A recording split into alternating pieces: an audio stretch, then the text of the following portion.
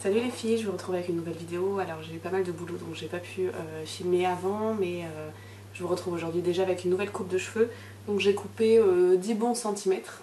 J'aurais voulu couper encore plus pour avoir le fameux carré long mais bon voilà je vais le faire étape par étape puisque j'ai les cheveux quand même ondulés donc ça remonte pas mal par rapport à quand on coupe. et sinon aussi j'ai essayé de retirer un petit peu tout le blond et faire quelque chose de plus blond vénitien. Bon là ils sont encore un petit peu mouillés et ils sont dans leur état complètement naturel. Euh, bon, on en reparlera quand j'aurai réussi à les euh, styliser un peu plus ou si je rechange. N'hésitez pas à me dire si vous voulez une vidéo plus cheveux et je vous parlerai aussi de mon salon où je fais les, couleurs. Donc euh, je voulais vous présenter en fait aujourd'hui la nouvelle collection printemps. Printemps de chez Shiseido qui m'ont gentiment envoyé. Donc j'ai juste quelques produits et je vais faire en fait un, first impression, euh, première impression de cette collection. Donc là j'ai déjà unifié mon teint mais vraiment toute légèreté avec le fond de teint lissant, euh, le Natural Perfecteur. Donc celui qui est dans la bouteille beige et noire. Euh, on va utiliser tout de suite une des nouveautés de cette collection qui est donc le concealer. Donc avant ils avaient un, anti-cerne anti-imperfection dans un petit tube où on venait en prélever et euh, là maintenant ils l'ont fait sous forme stick. Donc on va voir ce que ça donne. Euh, là moi j'ai la teinte naturelle, naturelle claire, donc on va voir si ça convient. Pour un premier essai je vais le poser au doigt. Euh, bah, c'est pas mal en couleur, c'est pas mal du tout. Donc je viens le poser au doigt en fait et je le tapote comme ça la chaleur de, des, des peaux l'une contre l'autre vont, vont fondre la matière. Donc moi j'en mets toujours un petit peu au coin de l'œil euh, parce que j'ai cet endroit qui, euh, qui, est souvent très sec et très abîmé encore plus en hiver. Et euh, je trouve que de remonter un petit peu l'anticerne ça lift le, le regard. Donc c'est plutôt bien.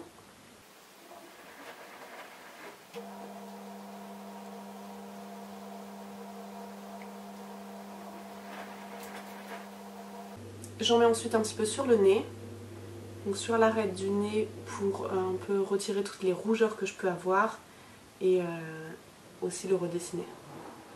Sur les ailes du nez aussi où j'ai énormément de rougeurs, enfin comme tout le monde hein, je pense.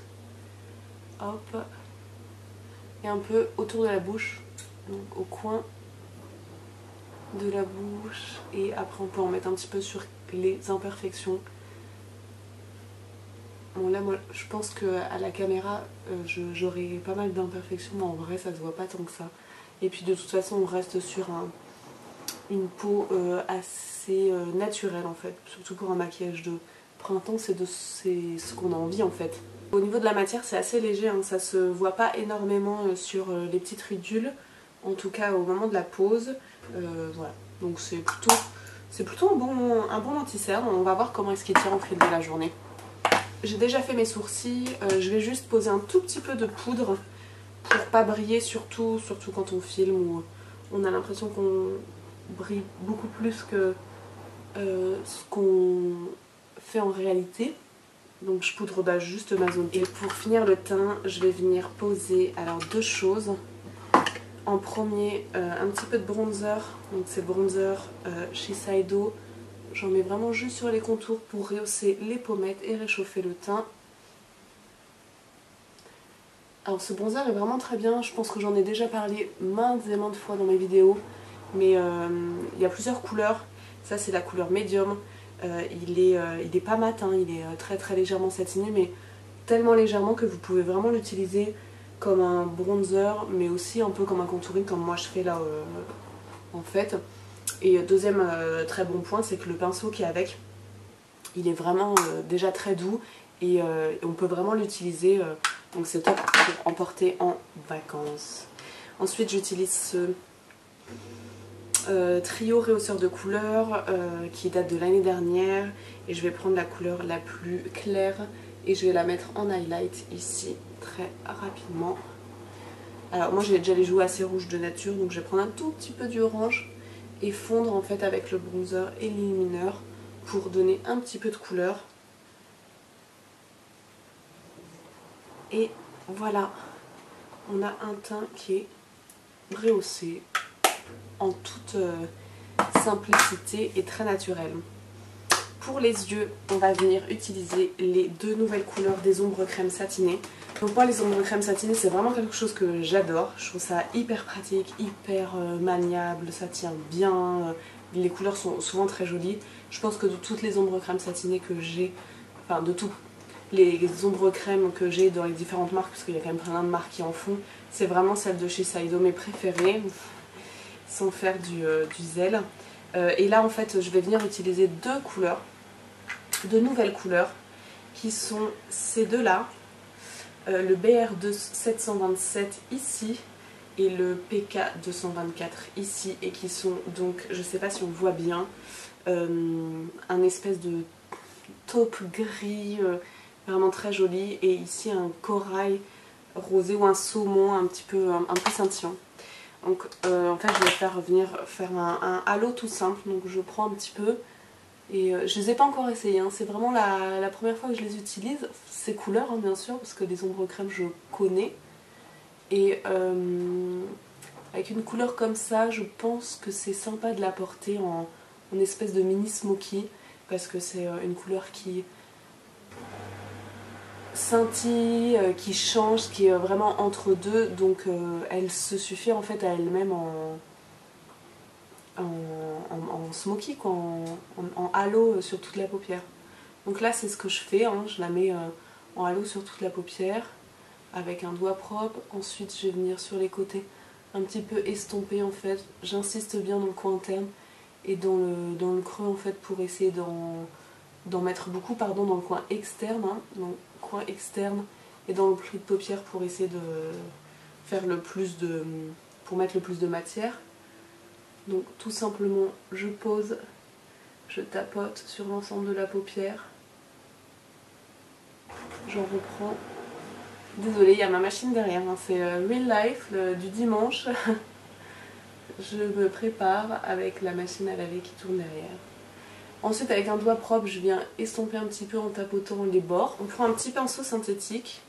Et euh, pour le, le dessous de l'œil, en fait, c'est quand même beaucoup plus simple qu'avec un doigt pour faire un petit raccord avec le ras de cils inférieur et surtout le coin externe.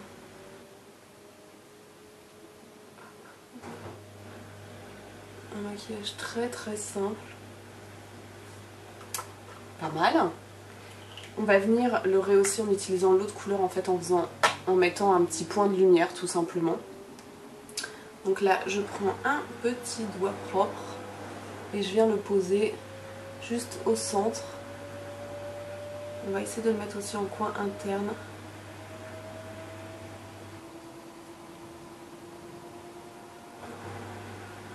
Pour faire le petit point de lumière au niveau de... Comme disent les américaines, le tear dot. C'est-à-dire le... Je sais même pas comment ça s'appelle en français.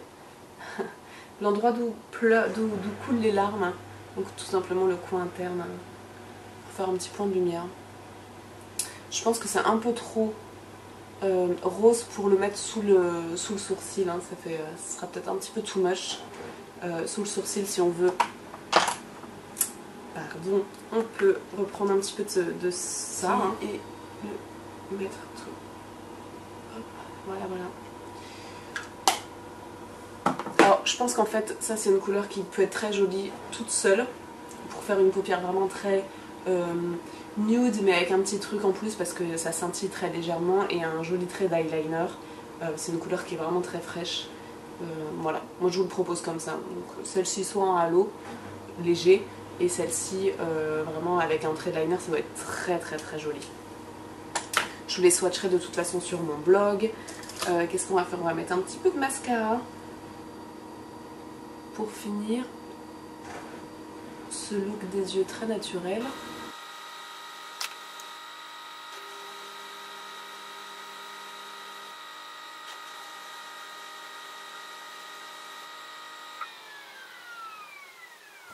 Et voilà pour le mascara, donc j'utilise euh, en ce moment le Better Than Sex de Too Faced.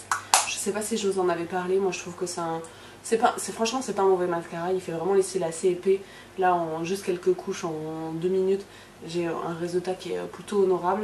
Le seul truc c'est que la brosse est immense, donc euh, c'est pour moi quasi impossible de faire les cils du bas, et vraiment il n'y a pas beaucoup de travail de précision, donc ouais, et puis il fait pas mal, il fait un peu des paquets aussi quand même si on n'est pas trop précautionneux, donc bof. Sur les lèvres, on va venir euh, mettre la nouveauté euh, lèvres du printemps en fait hein, pour chez Saido. Euh, c'est un rouge à lèvres qui s'appelle le Voile Élégance, donc quelque chose d'assez en transparence on va dire. et moi j'ai deux couleurs. Celui-ci qui est donc on va dire un, framboise qui est le PK304 qui est un entre corail et un corail clair on va dire. Et celui-ci qui est un orange un peu plus euh, un peu plus fort mais comme ça reste vraiment très léger ça reste en transparence plutôt bien. Euh, enfin en tout cas c'est pas une couleur qui, euh, qui, va flasher ou très peu. Et c'est le OR303 je vais vous le mettre sur ma main. Voilà. En fait on peut construire vraiment la couleur on peut venir mettre juste une couche et avoir quelque chose de très naturel euh, euh, ou, plusieurs. Alors euh, moi du coup je vais prendre, je vais mettre l'autre.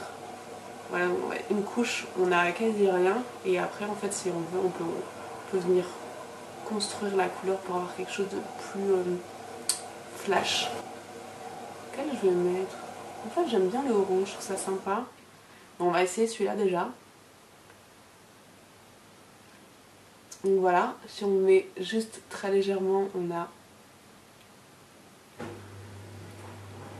un petit rouge avec des lèvres teintées euh, à peine, euh, juste pour rehausser et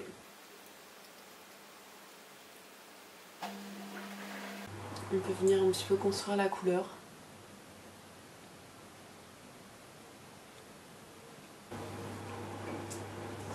Mais écoutez, c'est pas mal. L'orange aurait fait aussi un bel effet avec euh, ce petit taupe, je pense. Et bien, et bien voilà, le look est fini avec, euh, avec ces nouveautés de chez Shiseido pour le printemps. Euh, bah écoutez les filles, dites-moi ce que vous en pensez, si vous aimez ce genre de vidéo. Et je vous dis à très bientôt. Bye bye